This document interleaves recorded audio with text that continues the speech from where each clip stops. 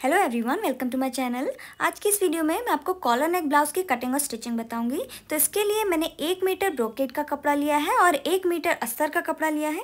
और मेरे चैनल और वीडियो से रिलेटेड सभी अपडेट्स के लिए आप मुझे फेसबुक और इंस्टाग्राम में भी फॉलो कर सकते हैं। लिंक डिस्क्रिप्शन बॉक्स में है। तो सबसे पहले मैं बैक पार्ट की कटिंग करूँगी तो उसके लिए मैंने कपड़ा लिया है और इसको सिंपल एक फोल्ड में रखा हुआ है। यहाँ से फोल्डेड वाली साइड है। अब ऊपर की तरफ़ से पहले हमें आधा इंच का मार्जिन ले लेना है, जो शोल्डर में दबेगा उसके लिए, और इस लाइन को स्ट्रेट कर देना है। अब इस लाइन से नीचे को हमें ब्लाउज़ की लेंथ के लिए निशान लगाना है। तो बैक पार्ट की लेंथ के लिए आपको जितना भी रेडी लेंथ चाहिए ब्लाउज़ की, उतना लीजिए। तो मेरे को फोर्टीन इंच चाहिए, और उसमें आधा इंच का मार्जिन ले रही हूँ, जो नीचे से दबेगा उसके लिए। तो फोर्टीन पॉइंट फाइव इंच पर मैंने निशान लगाया, और इस लाइन को स्ट्रेट कर दिया। अब यहाँ ये यह जो फोल्डेड वाली साइड है, यहाँ से अंदर को हमें आधा इंच पे निशान लगाना है और मार्जिन ले लेना है। और ये मार्जिन है हमारा जो प्लेकेट बनेगा उसके लिए। तो ये निशान लगा लिया। अब बाकी के मेज़रमेंट जो होंगे, वो इस आधा इंच से अंदर को लिए जाएँगे। आधा इंच के मार्जिन को हम इंक्लूड नहीं करेंगे। अब यहाँ से अंदर को हमें शोल्डर्स के लिए निशान लगाना है, यानी कि तीरा के लिए। तो जितना भी नॉर्मल आप शोल्डर्स रखते हैं उतना ही रखिए। इसमें कोई भी कम ज़्यादा करने की ज़रूरत नहीं है। तो मेरे मेज़रमेंट में साढ़े छः इंच के शोल्डर्स हैं तो साढ़े छः इंच पे मैंने निशान लगाया। अब यहाँ से नीचे को आम होल के लिए निशान लगाना है तो आम होल के लिए भी मैं साढ़े छः इंच पे ही निशान लगा रही हूँ। और इसको ऊपर शोल्डर वाले पॉइंट पे स्ट्रेट लाइन से ज्वाइन कर देना है। अब यहाँ पर हमें बस्ट के लिए निशान लगाना है। तो जितना भी आपका बस्ट साइज़ है, आप उसको चार से डिवाइड करें और निशान लगाएँ। मेरे मेज़रमेंट में बस्ट है थर्टी टू इंच की, उसको चार से डिवाइड किया तो आया आठ इंच तो मैंने यहाँ पे आठ इंच पे निशान लगाया। अब इस पॉइंट को आमहोल वाले पॉइंट पे स्ट्रेट लाइन से ज्वाइन कर देना है।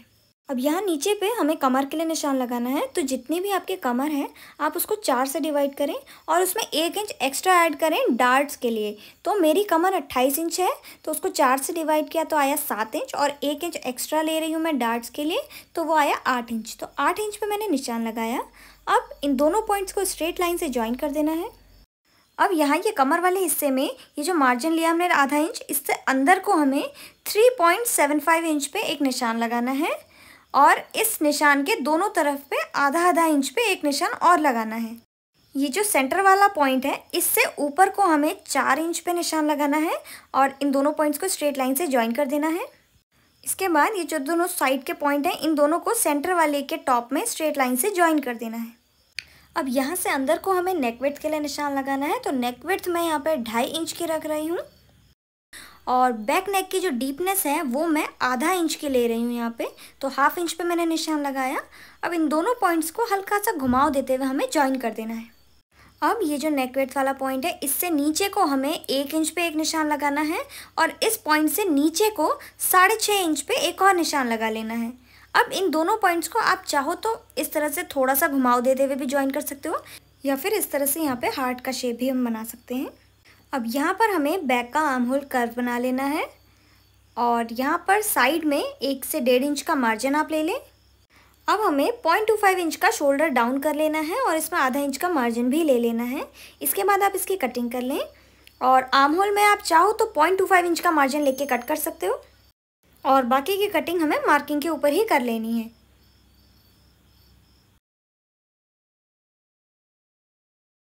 अब यहाँ पर जो फोल्डेड वाली साइड है, इसको भी कट करके हमें ओपन कर लेना है। अब ये जो हमारा यहाँ पे डार्ट का निशान है, इसको हमें पीछे की तरफ़ पे भी ट्रेस कर लेना है। अब मैं फ्रंट पार्ट की कटिंग करूँगी। तो फ्रंट पार्ट की कटिंग के लिए मैंने कपड़ा लिया है और इसको भी सिंगल एक फोल्ड में करके रखा है। अब हमें सबसे पहले ऊपर पे आधा इंच का मार्जिन ले लेना है और इसको भी स्ट्रेट कर देना है। अब यहाँ से नीचे को हम ब्लाउज़ की लेंथ के लिए निशान लगाएँगे। तो फ्रंट पार्ट की जो लेंथ होती है, वो बैक से एक इंच ज़्यादा हम लेते हैं। जैसे मैंने फोर्टीन इंच की ली थी लेंथ बैक पार्ट की तो उसमें से एक इंच एक्स्ट्रा यानी कि फिफ्टीन इंच की मैं यहाँ पर ले रही हूँ और आधा इंच का मार्जिन जो होगा, वो दबाने में आ जाएगा। अब इस लाइन को हमें स्ट्रेट कर देना है। तो ये मैंने स्ट्रेट कर दिया है। अब यहाँ फोल्डेड वाली साइड से अंदर को हमें बाकी के मेजरमेंट्स लेने हैं, जिससे साढ़े छः इंच के शोल्डर्स साढ़े छः इंच का आर्म होल मैंने लिया था। और बस्ट के लिए मैंने आठ इंच पे निशान लगाया था। यहाँ पर कमर के लिए जितनी भी आपकी कमर है, आप उसको चार से डिवाइड करें और निशान लगा लें। मेरी कमर अट्ठाईस है तो उसको चार से डिवाइड करने के बाद आया सात इंच तो सात इंच पे मैंने यहाँ पे निशान लगाया। अब मैं आपको बताती हूँ कि हमें कहाँ पर कितना इंक्रीज़ करना है मेज़रमेंट तो ये जो बस्ट वाला हिस्सा है, यहाँ पर जो प्रिंसेस कट आएगा, उसको हम कट करने के बाद जब ज्वाइन करेंगे तो दोनों तरफ़ से आधा आधा इंच का मार्जिन सिलाई में दबेगा। यानी कि टोटल एक इंच तो यहाँ पर मैं एक इंच का मार्जिन कपड़ा यानी कि एक्स्ट्रा बढ़ा रही हूँ। तो बस्ट वाले में एक इंच एक्स्ट्रा बढ़ाना है हमको और जो कमर वाला हिस्सा है, यहाँ पर जैसे मैं थर्टी टू साइज़ का ब्लाउज़ बना रही हूँ तो उसके लिए जो प्रिंसेस कट का नीचे कट आता है, वो डेढ़ इंच का आता है। तो डेढ़ इंच का कट हमारा यहाँ पर आएगा तो उसके लिए पहले डेढ़ इंच यानी कि वन पॉइंट फाइव इंच में एक्स्ट्रा बढ़ा ले रही हूँ। और जब हम ये डेढ़ इंच का कट को सिलेंगे तो दोनों तरफ़ से आधा आधा इंच का मार्जिन सिलाई में भी जाएगा। तो यानी कि टोटल एक इंच तो एक इंच का कपड़ा हमें और बढ़ाना है। इसका मतलब कि कमर वाले हिस्से में मैंने टोटल ढाई इंच का कपड़ा एक्स्ट्रा बढ़ाया है। अब इन दोनों पॉइंट्स को हमें स्ट्रेट लाइन से ज्वाइन कर देना है। अब ये जो फोल्डेड वाली साइड है, यहाँ से अंदर को नेकवेट के लिए निशान लगाना है तो ढाई इंच पे मैं नेकवेट के लिए निशान लगा रही हूँ। और जितनी हमने नेकवेट ली है, उतना ही हमें फ्रंट नेक की डीपनेस भी लेनी है। तो ढाई इंच की ही मैं फ्रंट नेक की डीपनेस भी ले रही हूँ। अब इन दोनों पॉइंट्स को हमें हल्का सा घुमाव देते हुए ज्वाइन कर देना है। अब यहाँ शोल्डर से नीचे को हमें बस्ट पॉइंट या फिर टक्स पॉइंट के लिए निशान लगाना है। तो मेरे मेज़रमेंट में जो बस्ट पॉइंट आता है वो 9.5 इंच पे आता है। अगर आप लार्ज साइज़ के लिए बना रहे हैं, यानी कि बड़े साइज़ के लिए तो आप 10 इंच या फिर साढ़े दस इंच तक निशान लगा सकते हैं। तो मैं यहाँ पर साढ़े नौ इंच पर निशान लगा रही हूँ। अब ये जो फोल्डेड वाली साइड है, यहाँ से ये पॉइंट कितनी दूरी पे होना चाहिए, इसका फॉर्मूला है, जितना भी आपका बस साइज़ है, आप उसको 10 से डिवाइड करें और फिर उसमें आधा इंच की लूजिंग ऐड करें। जैसे मेरे मेज़रमेंट में बस्ट है 32 इंच का, उसको मैंने 10 से डिवाइड किया तो आया 3.2 इंच और उसमें आधा इंच की लूजिंग ऐड करी तो आया 3.75 इंच तो मैंने यहाँ पर 3.75 इंच पे निशान लगाया। अब जितना हमने निशान यहाँ पर लगाया, उससे पॉइंट टू फाइव इंच कम हमें नीचे कमर वाले हिस्से में लगाना है। तो ऊपर मैंने three point seven five inch पे लगाया तो नीचे पे मैं थ्री पॉइंट फाइव इंच पे निशान लगा रही हूँ।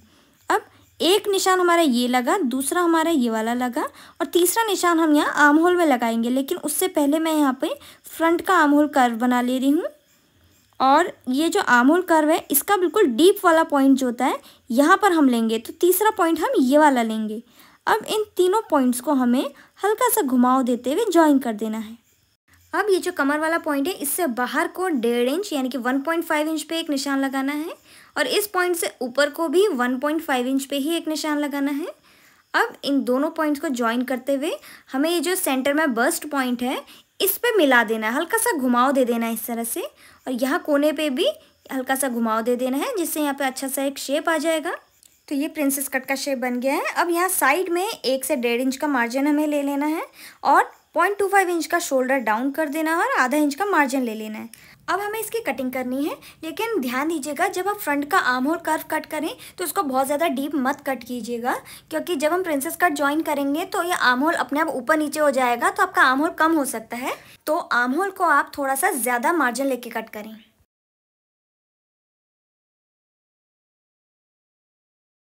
तो यहाँ पर हमारी कटिंग हो चुकी है और अब मैं इसकी स्लीव्स की कटिंग करूँगी।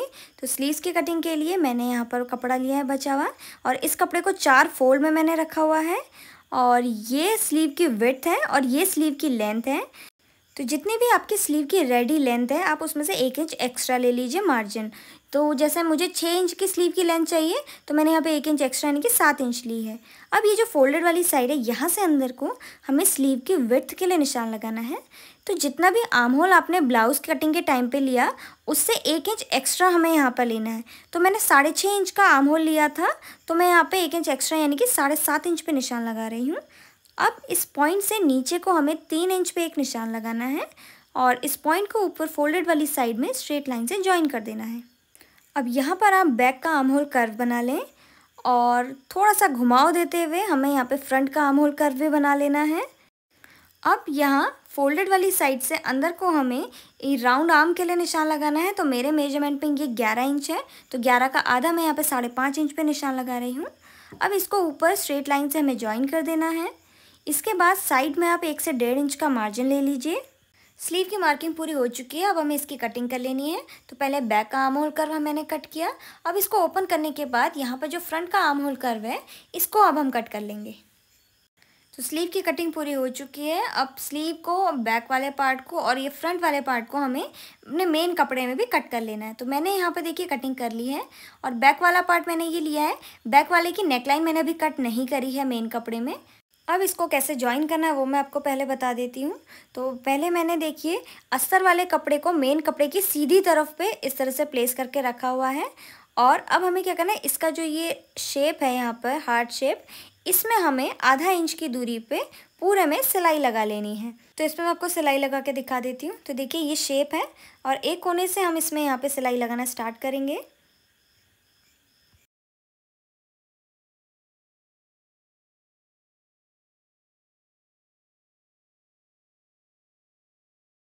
तो यहाँ पे आप देख सकते हैं, मैंने इसमें सिलाई लगा दी है।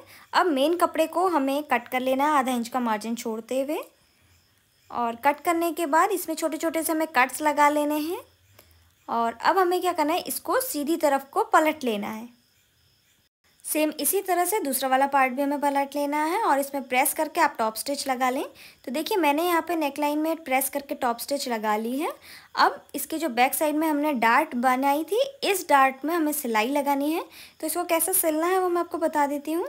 तो देखिए, ये डार्ट है और इसकी सेंटर वाली लाइन से हमें कपड़े को इस तरह से पलटना है और यहाँ पर जो टेढ़ी वाली लाइन आपको दिख रही है, इस लाइन पर हमें सिलाई लगा लेनी है। अब सेम इसी तरह से हमें दूसरी तरफ़ की डार्ट में भी सिलाई लगा लेनी है।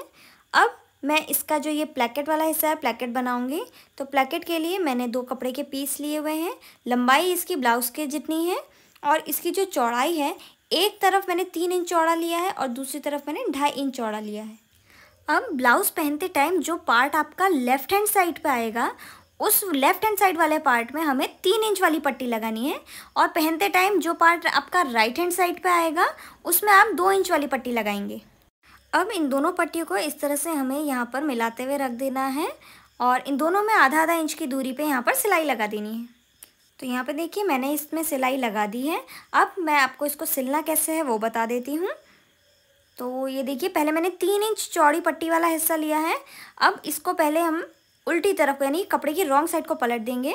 उसके बाद ये जो ऊपर वाला हिस्सा है, यहाँ पे एक्स्ट्रा कपड़ा थोड़ा सा दिखेगा आपको नेकलाइन की तरफ़ पे। इसको हमें आधा इंच का अंदर को फोल्ड करना है और फिर ये जो कोना है, इसको आधा इंच का फोल्ड करना है। और ये सिलाई जो आपको दिख रही है, यहाँ तक हमें इसको एक बार और फोल्ड कर देना है, इस तरह से। अब इस तरह से मैं इसको पहले पेन से सिक्योर कर ले रही हूँ। और सीधी तरफ़ को आप देखेंगे कि कपड़ा जो हमारा है वो एक इंच करीब यहाँ पे बढ़ जाएगा। तो इसी तरह से हमको बनाना है। अब इसमें यहाँ पे हम सिलाई लगा लेंगे।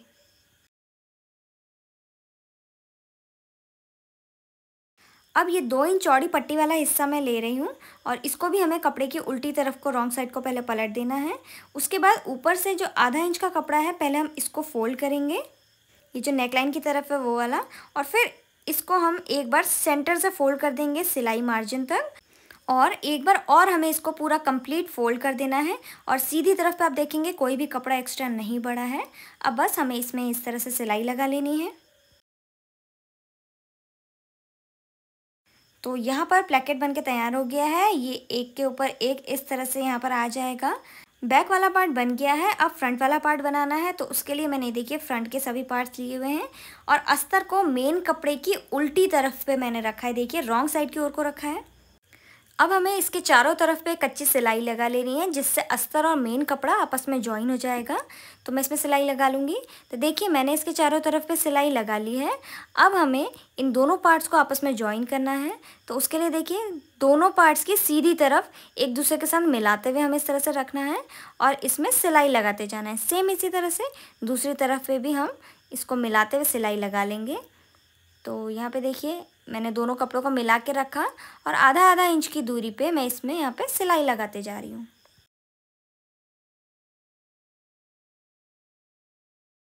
तो ये दोनों पार्ट्स मैंने यहाँ पे ज्वाइन कर लिए हैं।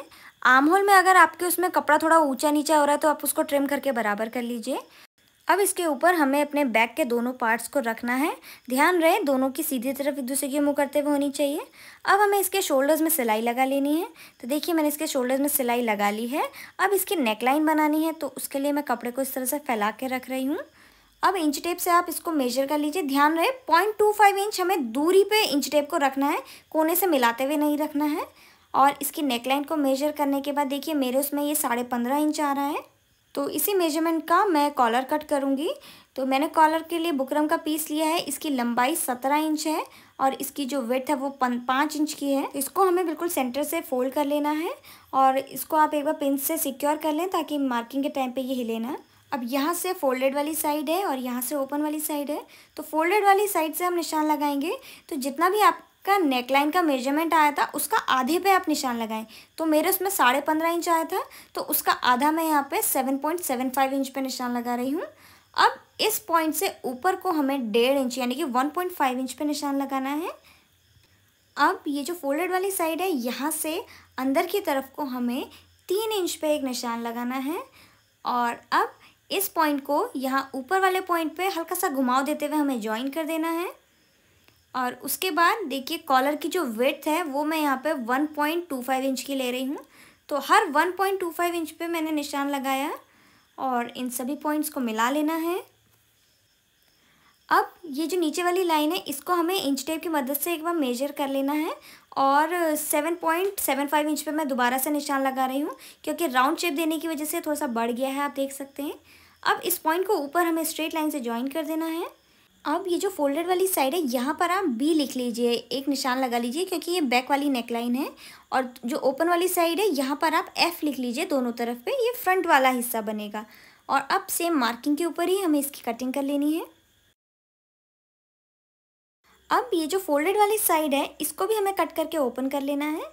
इसको प्लेस कैसे करना है, देखिए तो हम इसको ऐसे पलट के रखेंगे, जिससे कि जो एफ़ वाला पार्ट है, इनके फ्रंट वाला पार्ट वो सेंटर में आ जाएगा। इस तरह से आना चाहिए। और अब इसको कपड़े में हमें चिपकाना है तो देखिए मैंने डबल फोल्ड में कपड़ा लिया हुआ है। और इसके ऊपर हमें अपने ये बुकरम वाली नेकलाइन को इस तरह से रखना है।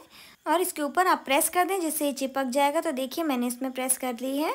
अब हमें क्या करना है, इसके सेंटर में यहाँ पर हमें जॉइंट लगाना है। तो एक छोटा सा बुकरम का पीस लीजिए और इसके बीचों बीच पे यहाँ पर इस तरह से बुकरम के पीस को चिपका दीजिए। तो ये देखिए मैंने यहाँ पर इसको चिपका दिया है। अब इसके जो बॉटम वाला हिस्सा है, यहाँ पर आधा इंच का मार्जिन छोड़ते हुए हमें इसको कट कर लेना है और ऊपर वाले हिस्से में बुकरम से चिपकाते हुए हमें इसमें सिलाई लगानी है। तो यहाँ पर देखिए, इस तरह से सिलना स्टार्ट करना है हमें, लेकिन एक पार्ट को हम इस तरह से आधा इंच के मार्जिन को ऊपर की तरफ़ को पलट देंगे एक हिस्से को और इसमें अब हम इस तरह से सिलाई लगाते जाएँगे। ध्यान रहे, बुकरम के ऊपर सिलाई नहीं चलानी है, बिल्कुल बुकरम से टच करते हुए हमें इसमें सिलाई लगानी है। तो ये देखिए, मैंने सिलाई लगा दी है इसमें। एक्स्ट्रा कपड़े को आप कट कर लें आधा इंच का मार्जिन छोड़ते हुए। और ऊपर की तरफ़ पे छोटे छोटे से कट्स लगा लेने हैं और कॉर्नर्स को भी कट कर लेना है। इसके बाद हम इस कपड़े को सीधी तरफ़ को पलट देंगे। अब इसमें हमें प्रेस कर लेनी है, जिससे इसमें अच्छे से फिनिशिंग आ जाएगी। तो देखिए, मैंने इसमें प्रेस कर ली है। अब इसको हमें ब्लाउज़ में अटैच करना है। तो ये देखिए, ये नेकलाइन है ब्लाउज़ की। और अब मैं इसमें ये कॉलर को अटैच करूँगी। तो देखिए कॉलर के जिस हिस्से में बुकरम नहीं लगा हुआ है, उस हिस्से को हमें ब्लाउज़ की रॉन्ग साइड देखिए ये ब्लाउज़ की उल्टी तरफ़ है, इस दोनों को मिलाते हुए इस तरह से रखना है और इसमें पूरे कॉलर में हमें आधा आधा इंच की दूरी पे सिलाई लगा लेनी है।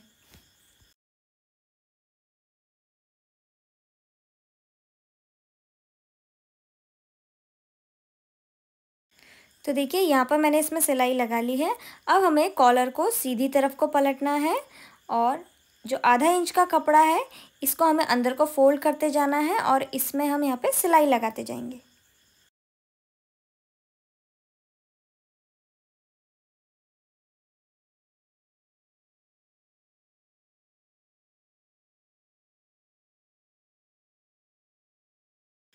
तो देखिए, यहाँ पर मैंने इसका कॉलर अटैच कर दिया है और इसकी जो बैक वाली साइड है, यहाँ पर एक हम लूप अटैच कर लेंगे और इसमें बटन लगा लेंगे जिससे नेक बंद हो जाएगा।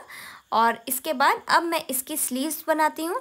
तो ये मैंने स्लीव्स ली हुई हैं और सीधी तरफ़ पे मैंने अस्तर के कपड़े को रखा हुआ है और इसके जो बॉटम वाली साइड है, यहाँ पे आधा इंच की दूरी पे हमें सिलाई लगा लेनी है। तो देखिए, मैंने इसमें सिलाई लगा ली है।